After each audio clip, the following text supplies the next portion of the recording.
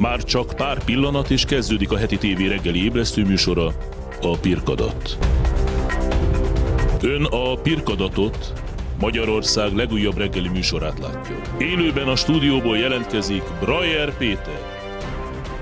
A Pirkadat mai vendége Dr. Havas Szófia, aki nem csak napjainkban már nekem úgy tűnik, hogy független, majd mindjárt megkérdezem tőle, hogy van-e még pártja, hanem egy gyógyító orvos is, akit sikerült ma egy reggeli szabad napján elkapnunk. Egyáltalán vannak egy orvosnak a napjainkban szabad napjai? Vagy hát szabad ez reggeli? is csak, hogy mondjam, félig szabad, meg azért millió probléma van. Úgyhogy távvezénylek. Nálunk is természetesen felütötte a fejét a Covid, úgyhogy ezt is szervezni kell. Az mit jelent, hogy távvezényel, hiszen még fiatal? Telefon. Hiszen még fiatal, tehát nem esik bele abba a kategóriába, akit nem engedünk be a kórházba. Már nincs olyan. Csak szeretném jelezni, sajnos már nem vagyok ilyen fiatal, tényleg nagyon kedves egy kora reggel, de már nincs tiltás, tehát 65 fölött is beengednének. A helyzet az, hogy pont a jogállási törvény, ami most napféle nem pontosítok, a rendelet születőben van, viszont az egészségügy átalakítása kapcsán én csak hallomásból tudom, hogy 65 év feletti, illetve nyugdíjasok továbbfoglalkoztatását nem szeretnék a jövőben. Ez nyilván sokat fog lendíteni amúgy is mérhetetlen mennyiségű egészségügyi Na de dolgozók könyörgöm, hogyha a nyugdíjasokat elengedjük haza, akkor ki fog Hát ez nem így hangzik, ha elengedjük, bocsánat, elküldjük, azért az nem ugyanaz. Igen, ne, ezen én is Nem lehet, hogy itt valaki félrenézett valamit? Nem, Hisz nem, nem, nem. az gyógyító orvosok számát növelni kéne, és nem lecsökkenteni. Hát ez egy... A gyógyító orvosok nem szeretnének már politikai eh, karrierbe futni, nem szeretnek adminisztrálni. Nem tudná, ez sem így van, ez sem így van. Az igaz, hogy 2010 óta törvény tiltja, hogy gyakorló orvos például beüljön a parlamentbe, de azért lássuk be, hogy az orvosok is emberből vannak, tehát ambíciók, hogy mondjam, politikai ambíciók azért léteznek, még az egészségügyön belül is. Az való igaz, hogy el kell dönteni, de mint a mellékeltárban mutatja, a Győr polgármester esetében még törvényt is módosítottak, hogy össze tudja kapcsolni a kardiológiát és a polgármesterséget, amit pont az ő pártja tiltott meg eddig. De könyörgöm, kardiológusokra szükség. Na de kardiológusokra szükségünk van. De tetszik látni, hát akkor most el kellett volna dönteni, hogy polgármesterre van szükség, abból azért több van, mint kardiológusból, de hát úgy gondolták, hogy ő az a népszerű kardiológus. Jól tudom, akkor önnek is van egy kardiológus szakvizsgája. Nem tévedek? szakvizsgám nincs, de valóban ö, ö, négy évet eltöltöttem kardiológián. Um, hatot. Hat év alatt nem sikerült egy szakvizsgát. Nem, mert közben még gyereket is szültem, tehát azért uh, voltak hát, ilyen kilengések. A nőknek vannak ilyen kilengései. Így van, elég el nem ítélhető módon. Az új törvények szerint azért most már világos, hogy férfiak nem tudnak szülni. Ha idáig nem tudtuk volna. Na, na, na, na. Azért, ha megnézi az Ikrek című remek művet, Schwarzeneggerrel és Danny DeVito-val, ott azért Schwarzenegger szül. Tehát lehet, hogy valamit tudnak na jó, a Fidesz önnek Fideszben. a vénájába a filmek iránt hisz van egy lánya, aki egy Oscar-díjas filmben részt vett. Ez így igaz. Úgyhogy maradjunk akkor a helyi politikánál. Mi történik, mit hoz a holnap, és mire vigyázzunk? Mondjuk eh. én például ilyen távolságot veszek fel orvosoktól, hogy még a lehelettükkel sem tudjanak nem meggyógyítani, hanem megfertőzni. Teljesen jogos, bár vannak olyan médiumok, ahol figyelem, ahol azért ezt a távol, szociális távolságot nem tartják be. Itt mi a levegőt sterilizáljuk, van egy szerkentjük, azt két óránként bekapcsoljuk, fújunk, takarítunk, mosunk, mosdatunk. Nagyon jól teszik. Egy dolog biztos. Na nem hogy... politikusokat mosdatunk azt nem tudnak. ez a tévé, én végtelenül kedvelem, de valószínűleg ez kevés ahhoz, hogy kimosdassa a adott politikusokat. Mi történik az ön pártjával? Nem kéne ott is egy kis mosdatás? Szeretségre gondol, mert én úgy tudom, hogy ott azért nem szoktak egy mosdatástól kifehéredni. Um, Hát nem tudom, mert én is kíváncsi lennék. Éppen tegnap olvastam egy hírt, hogy a DK több helyen elindít egyéni győztesekre is előválasztás kapcsán.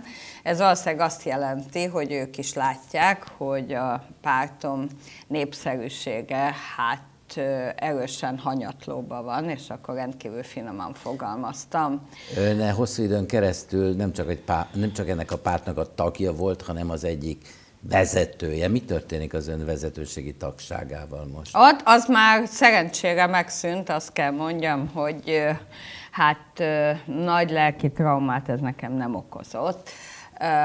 Nem az kellett volna annyiszor megmondani az igazat, és még lehet, hogy már párt De viszont lenne. cserében még nincs betörve a fejem, tehát én mindig azt mondtam, és a melléketában mutatja ez azért jó jön, hogy nem hiszek a vizen járó fiatalokban.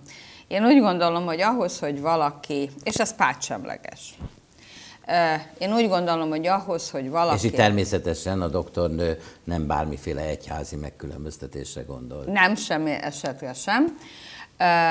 Én úgy gondolom, hogy ahhoz, hogy valaki vezessen országot, pártot, népet, bármit, és nem középiskolás fokon tanítja, ahhoz legalább az kell, hogy megforduljon a munkavilágában, hogy tapasztalata legyen a realitás ha megengedi, akkor a szociális távolságot most megszegjük. Nézőim látják, oppá, ez nem inzultálás, csak a doktornőnek a zöltözete, így nagyon jó, igen. Köszönöm szépen. Tehát én úgy gondolom, hogy a munka világában szerzett tapasztalatok, vagy egyáltalán az, hogy valaki tudja, hogy hogy néz ki a való világ Enélkül nem hiszem, hogy reálisan tudna országot vezetni. Ez vonatkozik Orbán Viktortól kezdve az, mindazokkal az ellenzékiekre is, akik ö, el, szabadon elegeztett kézzel határoznak és döntenek életről és halálról.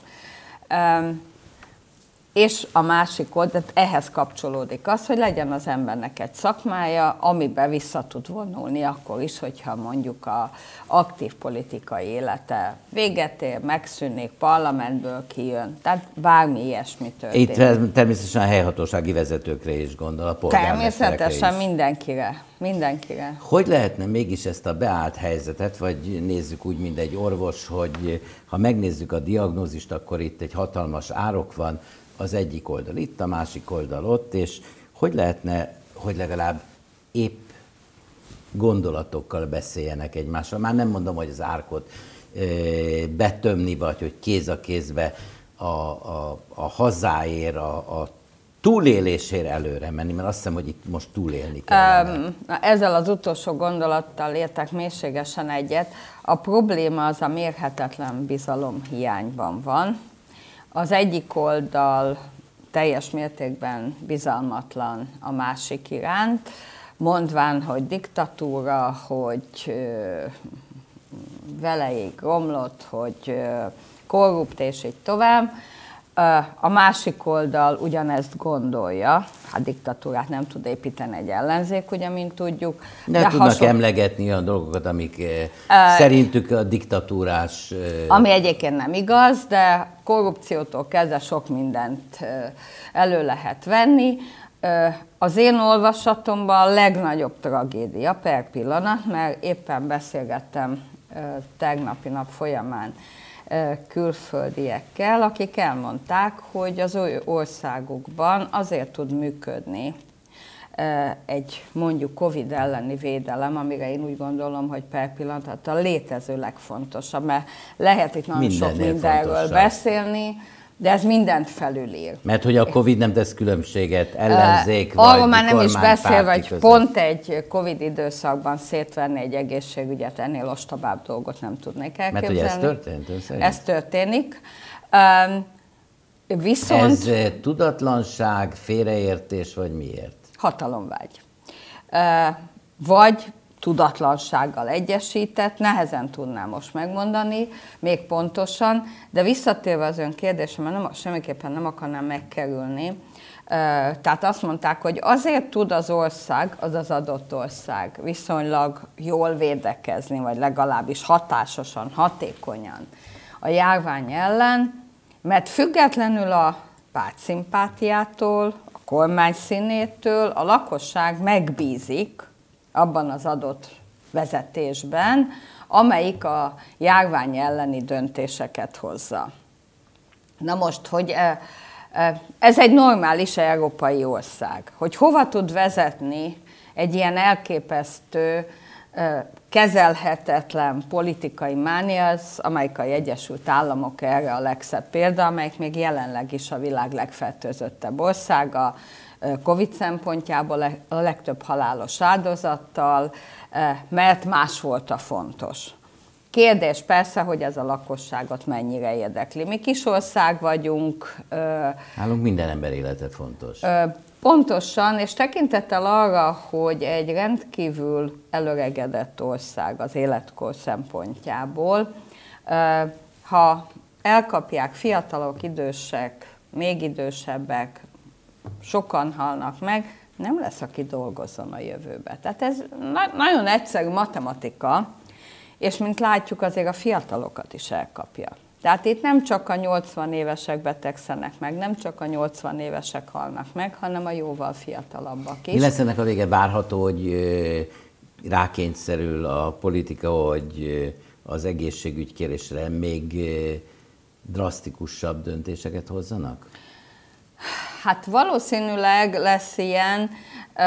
Izraelben most beszéltünk a Tel Avivi tudósítóval, ott például még zár alatt vannak, és jön a harmadik hullám, a Covid-nak, úgy még hanukai ajándékként. Itt még szerintem nem lesz hullám, egyfolytában van hullám. Tehát azért az, hogy nyáron egy kicsit alább hagyott, ez nem jelentette azt, hogy megszűnt és az, hogy mekkora fertőzést lehet megnézni, azért több kormánytag is beteg, még csak azt sem mondom, hogy egyszerűen szimpla karanténban vannak, hanem tünetesek. Nyilván minél több döntéshozó lesz beteg, annál jobban fogja elérni az inger küszöböt az, hogy hát bizony itt a legfontosabb a Covid elleni végzekezés, és ebbe akkor nem frázis puffogtatás lesz, hanem valódi Világos. döntések. Mindenki az oltásról álmodik, de jelenleg míg az oltások elkészülnek, nem az oltás kell, mert az megelőz, hanem a gyógyító. Mivel gyógyítanak napjainkban?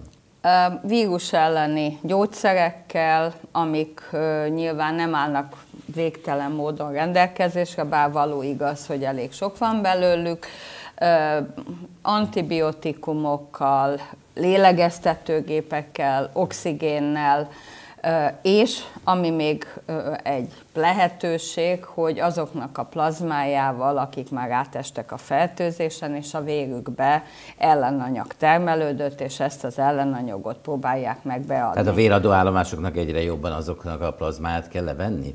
Hát természetesen, és nincs elég. És még egy nagyon fontos dolog, tehát attól, hogy valaki átesett, az nem jelenti azt... Hogy nem több, kapja meg újból. Így pontosan, tehát ez maximum két-három hónapos védettséget jelent, és még mindig nagyon keveset tudunk, hát nem csoda, hát összesen egy fél éve van velünk ez a vírus, ami már mutálódott, és újra és újra mutálódni fog, és újra és újra meg kell tanulnunk az ellene való védekezést. Tehát én messze menően úgy gondolom, hogy minden létező erőforrást, észt erre kell koncentrálni, és ilyenkor valóban az ellenzéknek abban mérhetetlenül igaza van, hogy ilyenkor nem kisvasutat, stadiont és megint egyéb ostobasságot építünk, meg fejlesztünk, hanem bizony az Azért mégis még önben van az, hogy melyik pártnak volt a tagja. De ez, ez, ne, ez nem is fog elmúlni, mert azért a józanész az azt hiszem mindent felülír, de nem feltétlenül.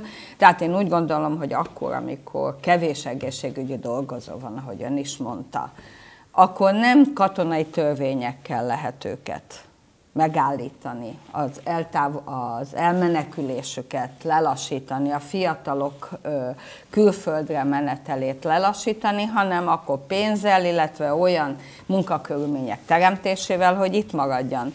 Pénzből pedig csak korlátozott mennyiség Kedves van. nézőim, az elmúlt bő negyed órában dr. Havas Szófiát, egy orvost, ágy mellett gyógyító orvost, egy egészségügy, egészségpolitikust láttak és hallottak. Előzetesek is jövünk vissza, tartsanak velünk!